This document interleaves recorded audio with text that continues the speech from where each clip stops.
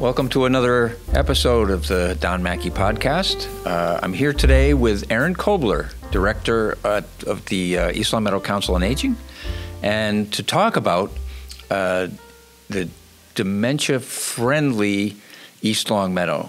Aaron, thanks for coming. Thank you so much for having me. Oh, this is great. It's I, so nice to finally be here. we've talked about doing this for a while. Um, so, I guess to start off, what does dementia friendly East Longmeadow mean? Right. Well, as you were saying it, I was thinking, what a mouthful to have to say, right? Dementia Friendly East Longmeadow Initiative. Um, actually, what it is is a grassroots local effort to make East Longmeadow more friendly to people who are living with dementia or other cognitive impairment as well as their caregivers.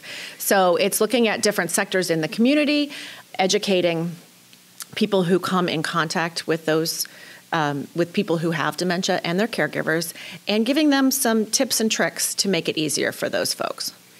So,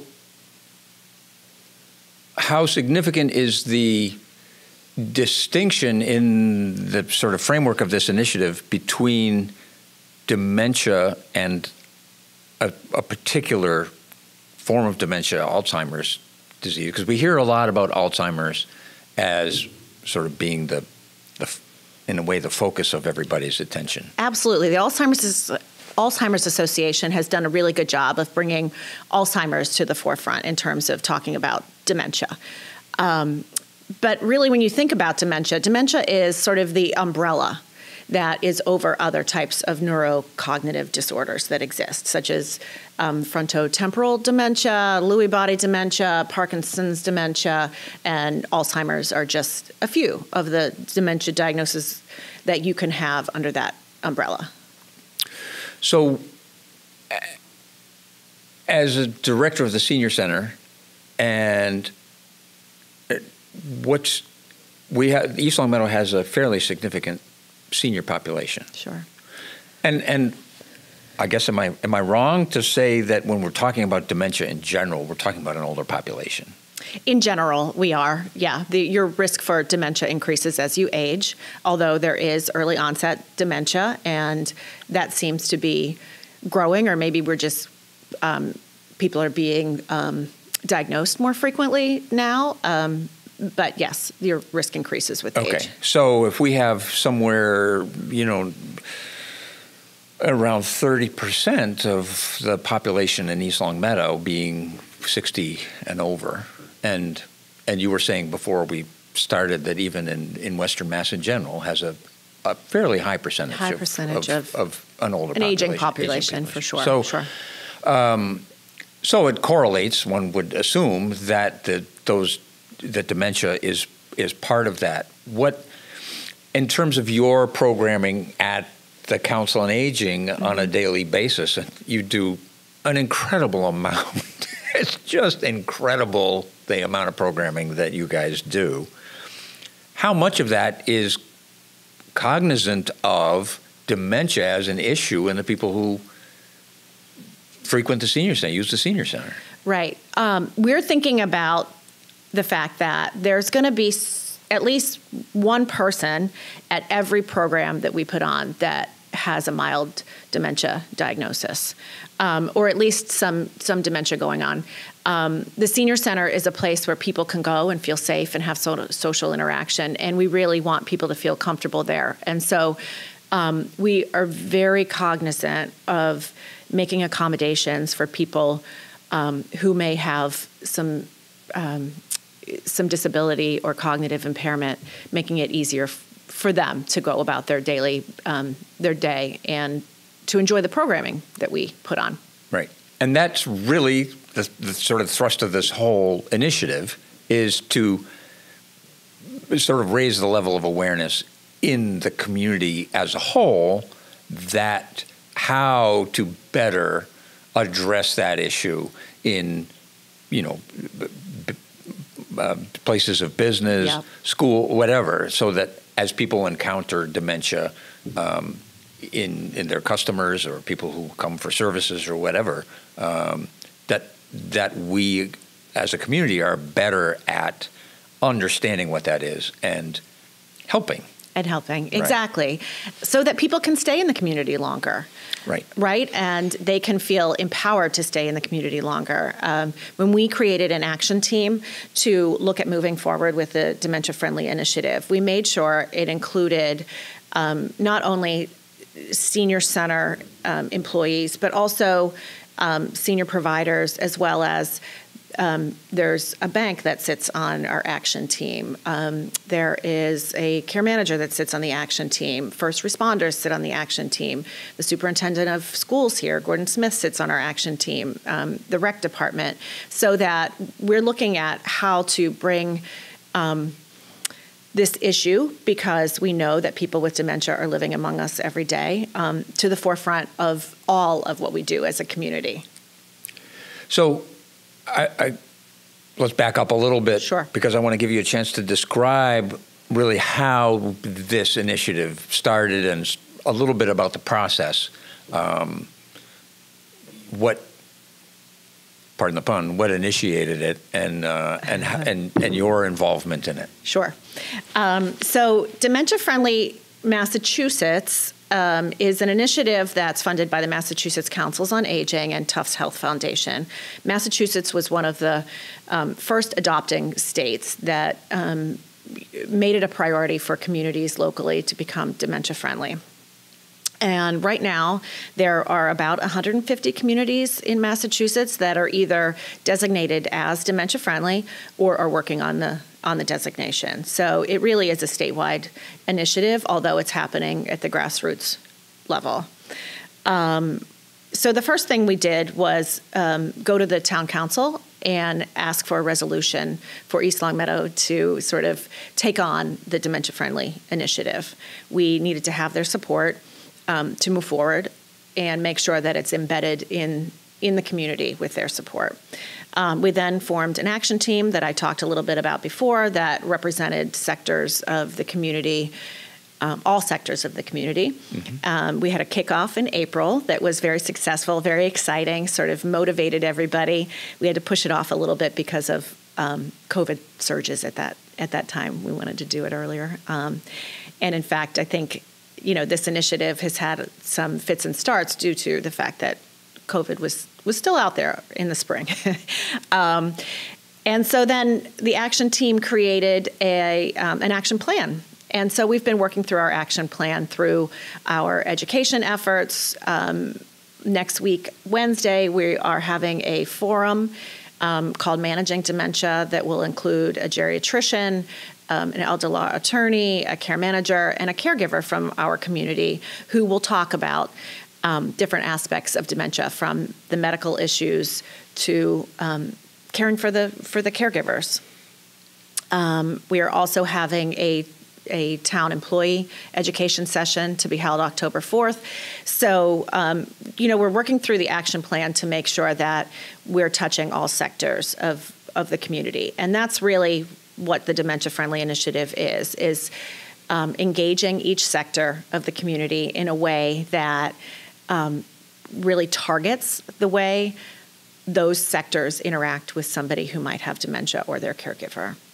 Um, for example, you know, the hairdresser who is doing the hair of somebody every week who has her hair set and is listening to the same stories over and over and over again and stops addressing the person in the chair and is looking at her daughter instead.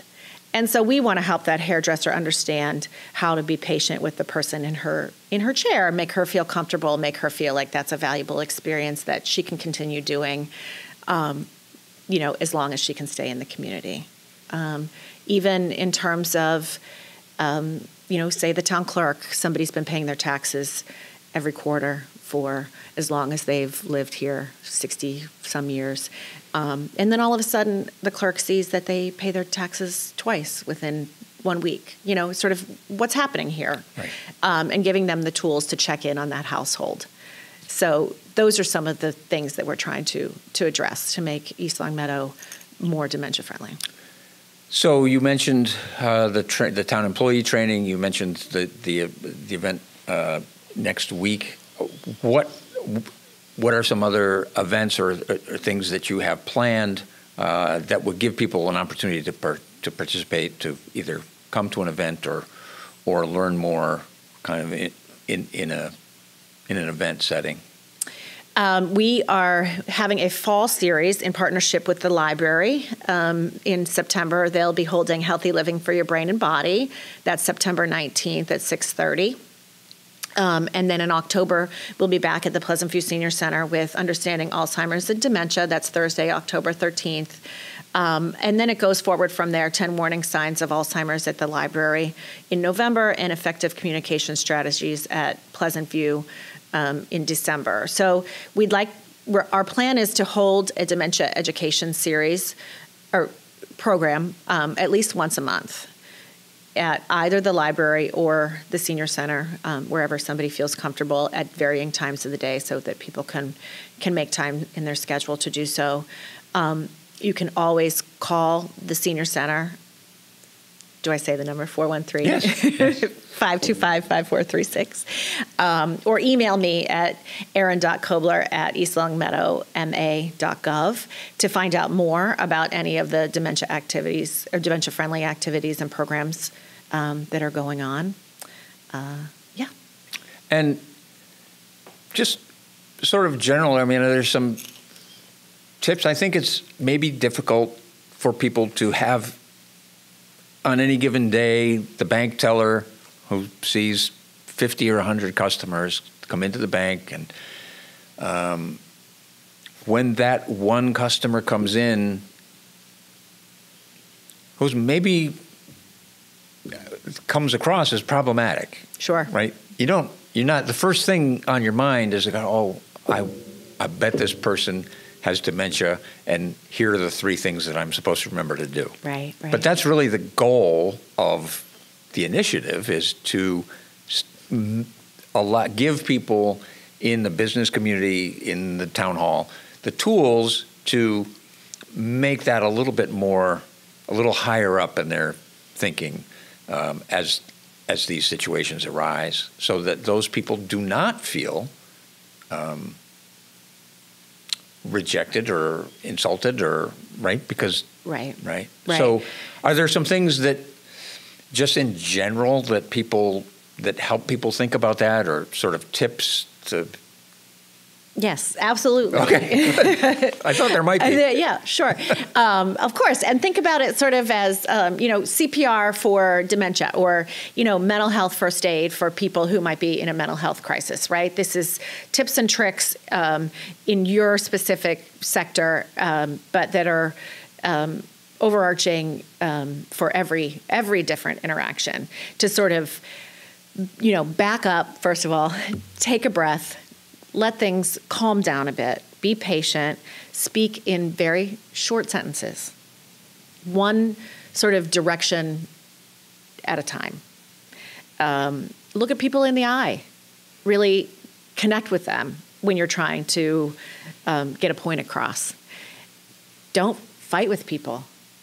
Um, sometimes it's just sort of saying, you know, let me help you make make change or you know not not hurry up and you know you need to get me the right change right away it's um, uh, I'm sorry, I have trouble seeing those nickels and quarters too. The difference between the two. Can I can I help you with that? I do it all day long.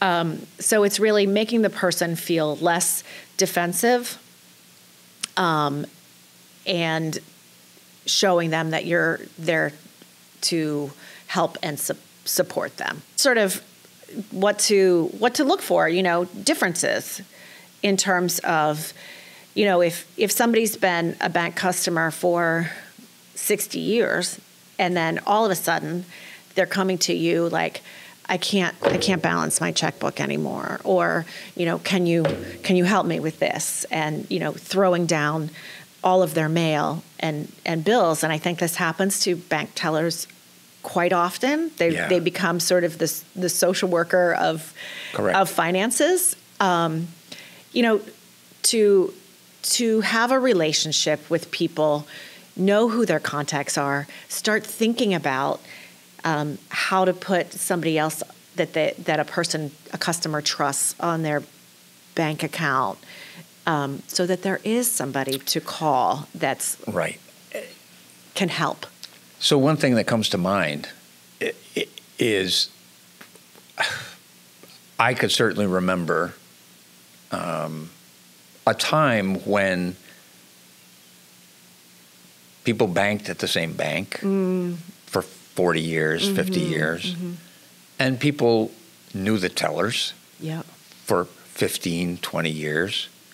Those relationships were sort of built into the way the culture and the community worked. Mm-hmm. That kind of consistency does not exist anymore, which, on two levels, that in itself makes it harder for the person who's struggling to sort of maintain some, Some sense of consistency, independence, right? Sure.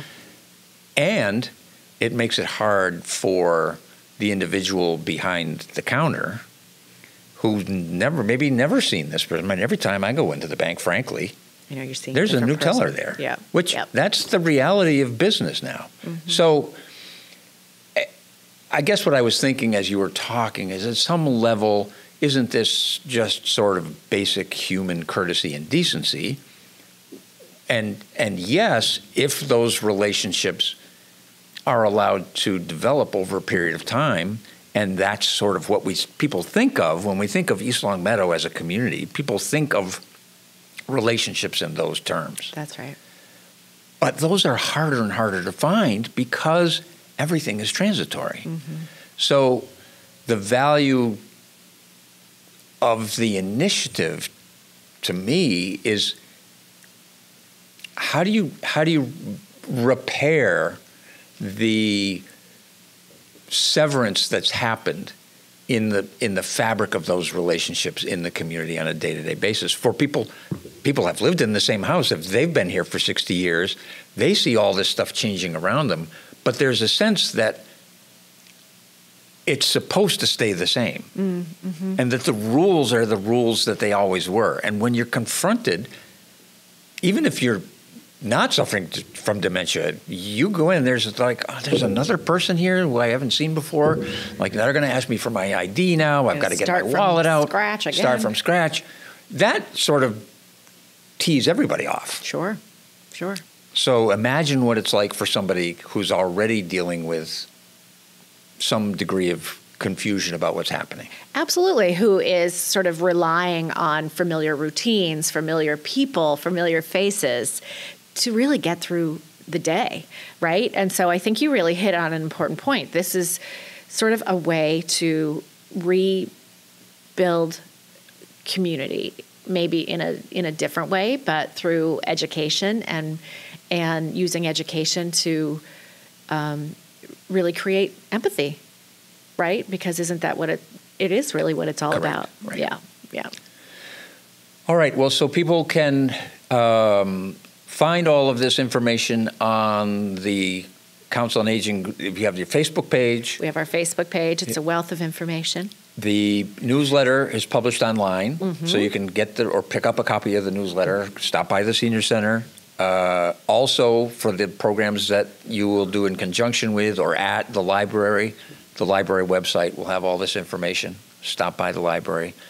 We will put any information about upcoming things on the LCAT bulletin board, and um, this is a this is a tremendous initiative. Thanks for coming in and sort of bringing us up to speed about really what's involved. I it, I think it's I think it's tremendous, and I give you and your team at the COA a lot of credit for really pushing for this because I can remember, you know, at those sort of council meetings when this first idea first came up, and everybody kind of having this quizzical look. Well, what does that mean? Like, what is that? Um, it is a very substantial and, and important initiative, and uh, I think it's I think it's great. I'm really I'm I'm proud of the uh, effort and um, determination that you all have put into this uh, on behalf of you know the town government and and what the what the town's role is to to support this. So Thanks, Don. It was so fun to be here, um, and and we really just hope that it makes life better um, for those East Longmeadow, Meadow, Meadow residents living with uh, dementia and their caregivers. And if anybody who's out there, sort of that we haven't reached through our programming or our caregiver support group, um, has questions or just would like to engage, please don't um, don't hesitate to get in contact with us. All right, excellent. Thank you so much, Erin, for coming. Thank Erin you. Koebler, Thank you. Director of the East Longmeadow Council on Aging. Uh, that'll do it for today. Thanks for listening in. This is Don Mackey with the Don Mackey Podcast, and uh, we'll see you next time. Thanks, Don.